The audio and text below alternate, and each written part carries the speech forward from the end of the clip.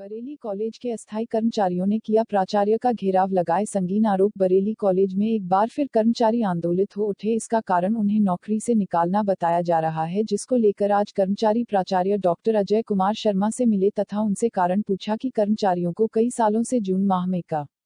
यूँ परेशान करा जा रहा है तथा उसके बाद कर्मचारी ईपीएफ अधिकारी के कार्यालय गए और उनसे ईपीएफ लागू कर जितेंद्र मिश्रा जानना चाहेंगे आप जो ईपीएफ कार्यालय आए क्यों आए क्या कारण है इसका? हम लोग बरेली कॉलेज के अस्थायी कर्मचारी हैं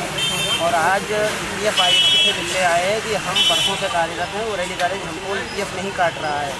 हमने सैकड़ों पत्र ई पी एफ़ आयुक्त को लिखे हैं लेकिन अब तक ई पी एफ़ नहीं लागू किया जा रहा है। और आज हम मिलकर के ये कहने आए हैं कि अब तक का ई पी एफ़ हमको भुगतान कराया जाए और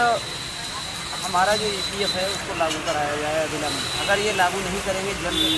तो हमारा आंदोलन कॉलेज में तो चल ही रहा है। और हम मजबूर होंगे कि ई पी एफ़ दफ्तर पर भी एक दिन जो है धरना प्रदर्शन करें और अभी ई पी एफ़ आयुक्त से मिले उन्होंने भरोसा दिलाया कि अब नहीं कर